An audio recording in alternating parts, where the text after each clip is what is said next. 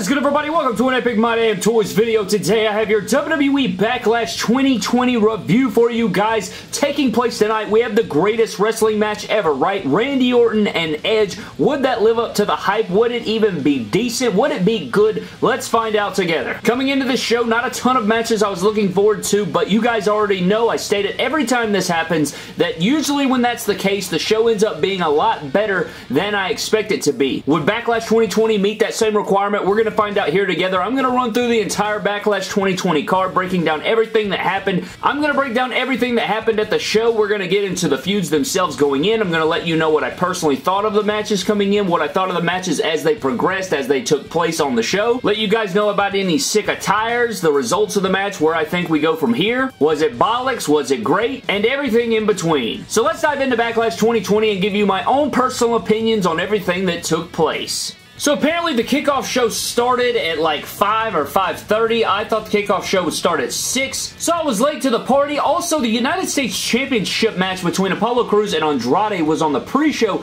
instead of the main show. Very upsetting about that. You know, I really wanted to watch this match. I completely missed it because the show started earlier than I thought, and I didn't figure this match would be on the pre-show. I thought for sure that the Street Profits and Viking Raiders would be on the pre-show, and this was on the pre-show. Apollo does retain the U.S. Championship, which I'm very glad of. However, However, I really wanted to see this match, so I did not get to watch this match. Very disappointed with that, but at least Apollo is still your United States Champion, and I'm pretty upset that this wasn't on the main show. I know it doesn't matter that much, but hopefully he will move on to the main card after retaining and, you know, building up incredible as a champion. But Apollo Crews does retain the U.S. Championship, and my boy KO was on commentary for this matchup, so I'm guessing maybe KO versus Apollo is next. I'm not sure.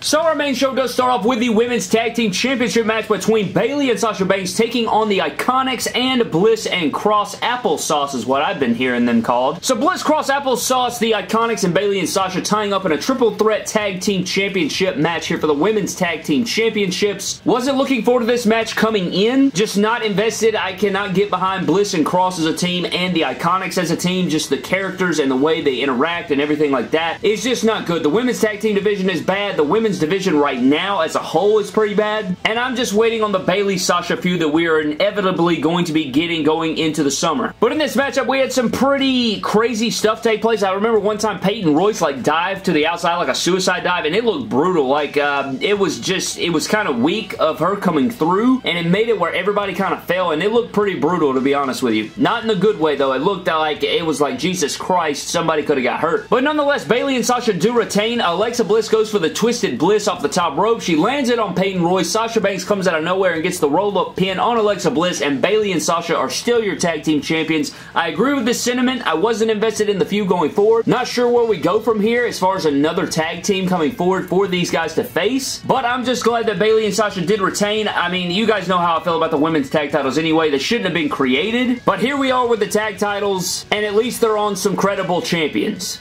Next up, guys, we had a match that I was most looking forward to, I believe, on the show besides Randy Orton and Edge. We had Jeff Hardy, my man, taking on Sheamus in a matchup that has pretty much had some blood feud in it, man. We've had some freaking deep storyline coming in here. Sheamus was bringing up Jeff's dark past and, you know, his demons that he's been facing for years and years about his alcohol abuse and his drug abuse, his DUIs, and all of this different stuff. Jeff Hardy threw piss in Sheamus's face. I mean, I was actually invested in this, man. I thought the realism of it and the elements in both guys going back and forth over the multiple weeks leading up to the matchup was excellent. I think that both of these guys brought it into this feud. I was invested in this feud, and the match totally lived up to the hype. If you guys missed this matchup, you definitely need to check it out if you didn't watch Backlash at all. I would go back just to watch this matchup. It was a fun match. Hard hitting. You guys know Sheamus' style. It's my style that I love to watch. Jeff's one of my faves of all time, so I mean, this was a great mixture of a great matchup with some physicality, a lot of great selling, some great counters. It was a really fun matchup between the two. It lived up to the hype for me.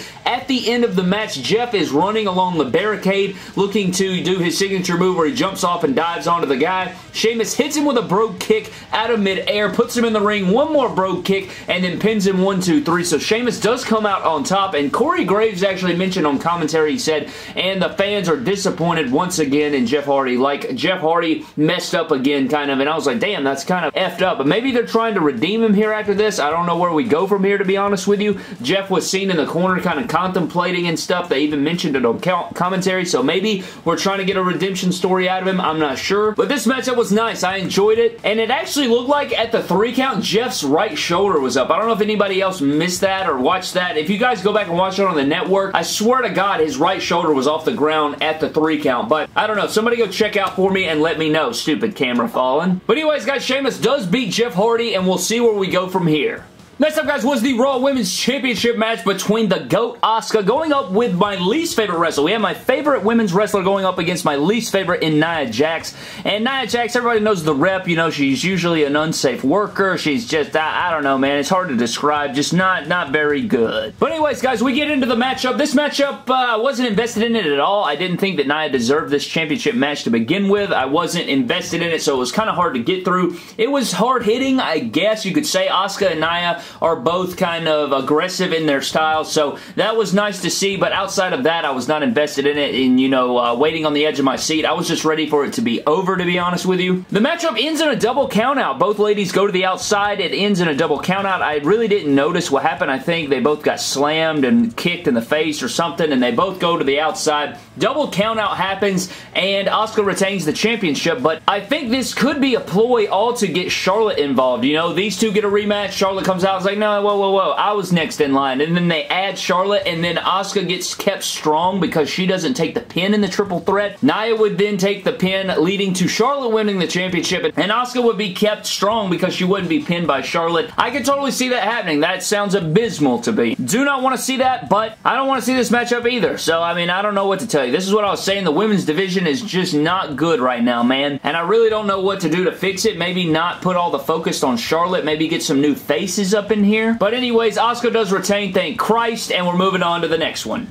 Next up, guys, we have the Blue Universal Championship match between Braun Strowman in a handicap match versus Miz and Morrison. Now, coming into this, wasn't invested at all. You know, it was all about the pranks and the music videos and the craziness and just kind of a comedic, lame attempt at a feud here between these two, or three guys, I should say. These two-on-one guys here for the Blue Universal title. And I was not invested in this until the matchup happened. I even tweeted something about it. It's like Morrison in the ring with Braun Strowman was kind of magical. Like, I loved watching it, the way, like, the, the agility and the speed and the athleticism of John Morrison just rolling all around the ring and Strowman trying to catch up with him and grabbing him out of midair and stuff like that. It was very entertaining. I tweeted something out like, uh, it's like a matchup that I never knew I needed until now. Now I want to see Braun Strowman and, and Morrison go for like 15 minutes. But overall, I enjoyed the match for what it was. I found myself more invested than I thought I would be. It was a lot better than I thought it would be. The only thing that I did not like was that at the end of the matchup, John Morrison and The Miz hit the little, you know, the, the springboard skull-crushing finale drop kick stomp type deal that John Morrison and uh, Miz like to do as their finisher. Morrison was the legal man, so he went for the cover, and at the two mark, Miz drags Morrison off, and he's like, oh my god, what the hell am I doing? And then Morrison is like, what the hell, bro? What the hell? Trying to, you know, I guess put some cracks in the foundation of the tag team, but am I supposed to believe that that pinfall was supposed to put Braun away, and, and that was going to be it before that? I don't think so, man. I just don't buy that, especially after we've seen Braun get speared three or four times by Goldberg and not get beat. We've seen him in the chamber take like a curb stomp and a coup de grace and a spear by Roman Reigns, still get covered by all three men and still kick out at two. So I, I was not buying that. The logic was definitely not there on that, and that's why I could not buy into that story they were trying to tell me right there. I wasn't buying it. I wasn't smelling what they were stepping in, if you will. But this matchup was better than I thought. Braun ended up hitting the power slam, choke slam, one, two, three. Braun does retain the Blue Universal title. We all saw it coming. I guess we're going to wait for The Fiend to come back to take off the title, or I don't know where we're going from here, but Braun does beat Miz and Morrison in a two-on-one effort. Next up, we have the WWE Championship match between Drew McIntyre and Bobby Lashley with, of course, MVP in his corner. Lana backstage saying that, you know, she was debating whether or not to come down to the ring. MVP talking to her. And this match was pretty physical, man. I felt like that was the theme of the night. Just a bunch of physical matchups. Pretty decent football game right here. I thought it was hard-hitting like I expected it to be. I found myself invested in it. Coming into it, not that invested, but, but they made a believer out of me by the end of the matchup. I thought it was hard-hitting. I liked the story they were telling selling here. Before the matchup even began, Lashley locked in the full Nelson, which was part of the storyline, you know, like how dangerous that move is. He locked it in before the match and sort of got the heel kicks in, you know what I'm saying, coming in before the bell even rang. Uh, Drew uh, McIntyre even still had his entrance gear on, so he was he was taking advantage of that. But it was a hard-hitting game, man. The, the end of the matchup, though, I was kind of confused on. I didn't really like because Lana comes down and gets on the apron, and it distracts Bobby Lashley. Bobby Lashley looks at her and is talking to her, get the hell out of here. Drew McIntyre hits Bobby Lashley with a headbutt, knocking Lashley into Lana, knocking Lana and MVP into the floor, and then he gets hit with a Claymore kick, one, two, three. So it was kind of like not a completely clean win, I guess, for Drew, which I don't like. I wish he would have pretty much just put Bobby down, put MVP down, put them all down with those distractions anyway. I don't like that, you know, it kind of required Bobby Lashley to look away, but I guess they're trying to build up Lashley as a pretty credible threat. Drew McIntyre does hit the Claymore kick and wins 1, 2, 3, retains the WWE Championship. Thank Christ. I'm very happy with this result. I think it's the right result. I don't think they're going to take the title off of Drew until at least full crowds come back because I think, you know, he I, I've said it time and time again that he never got his moment in front of the live crowds. He got it at the Rumble, but as champion, he really needs that moment, and I don't think that we are going to uh, get him away from the title until those crowds come back. So Drew McIntyre's still on fire. He even got on the camera, in the camera's face after the matchup and said, I'm going to be WWE Champion for a long, long time. I'm a believer in it. I like it. He retains, and I, I enjoyed this for what it was. Next up, guys, we have the Raw Tag Team Championship match between the Viking Raiders and the Street Profits, and my God in heaven. You wanted to take Apollo Crews and Andrade off the main show for this? This is absolutely a kickoff show segment or match. I don't know what the hell I just watched. It was not a match whatsoever. The Raw Tag Team Championship division is gone. There's no, it doesn't even exist. We thought the Women's Tag Team Championships were booked like jokes. Bro, holy Christ. I don't know what the hell I just watched. I wasn't already invested in the anything you can do, I can do better BS they've been doing for weeks upon weeks. The comedy cringe, the different segments of playing golf and all this ish. And then, and then we get like random crap and, and this right here made no sense. They were in the hallway and then they had a bowling ball like they were about to go to war and then Montez Ford gets hit in the nuts with the bowling ball and they're going back and forth. They finally make their way to the parking lot and Akira Tozawa is there in a ninja outfit with a bunch of other ninjas on motorcycles or, or street bikes. And then they all get together. The Viking Raiders and the Street Profits get together. They become the Viking Profits. And they say they want the smoke and they draw chicken legs and, and different items that they're using. Basically like the Avengers. The ninjas attack. They beat the hell out of the ninjas. And then Akira Tozawa ends up with this big old dude with a mask on. And he had a katana. And then all four of the Street Profits and the Viking Raiders run away. And then they climb on top of this truck and they jump into the bed of a garbage truck. And then they have dream sequences. It was completely all over the place. I have no idea what I just watched. I was not invested. I just wanted it to end. It kind of seemed like I was watching a children's show or something. I, I, I really don't know what to say. If you guys watch this, you definitely know what I'm talking about. You definitely need to go watch it so you can understand the, the gravity of what I'm saying. But this was not good. This was not good, and I hate that I even had to spend time talking about it.